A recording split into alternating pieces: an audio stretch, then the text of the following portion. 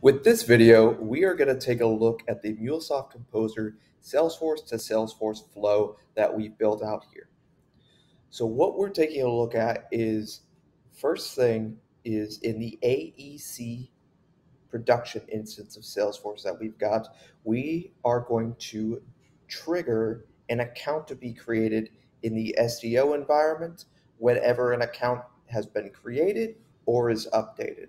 So the trigger event is on a newer updated record.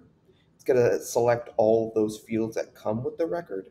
And then in our additional instance of Salesforce, we are going to create that new record in real time. And we're going to pull all these fields from that account in the first instance. And once we've done all that, what is going to happen is we have created an SDO field to capture that ID in the AEC org. So all of that ID information that is created in the SDO org will be mapped back to AEC. So let's click test.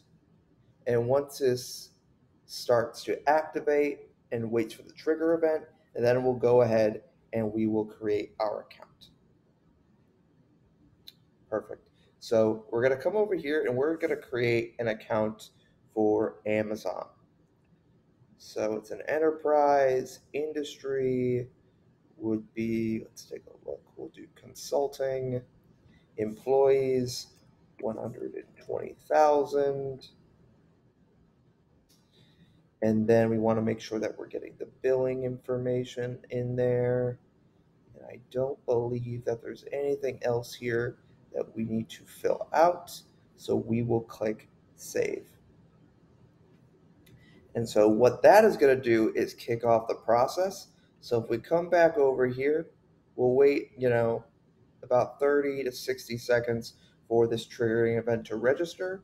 And once it does that, we'll take a look in our SDO sandbox to make sure that it's come over correctly.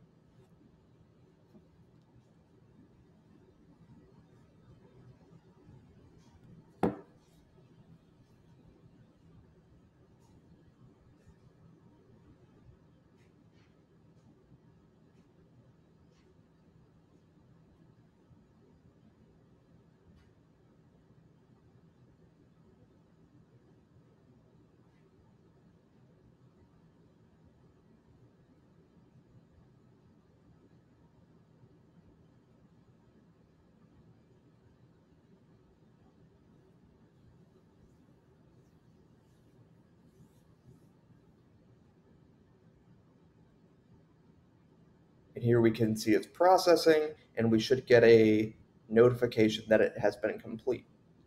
So the test is finished. We have that green checkbox on all of our activities. So let's take a look at what we see. So if I come to my SDO instance and I refresh this, I can see I've got Amazon in this new org. And I'm able to see all those fields mapped over and I get that record ID from the account in the AEC org. Very important. That's really going to act almost as an external ID here. And if I come over to Amazon and I can see the SDO account ID from that additional instance of Salesforce. So using the MuleSoft Composer, you're able to do those connections Salesforce to Salesforce extremely easily with clicks, not code.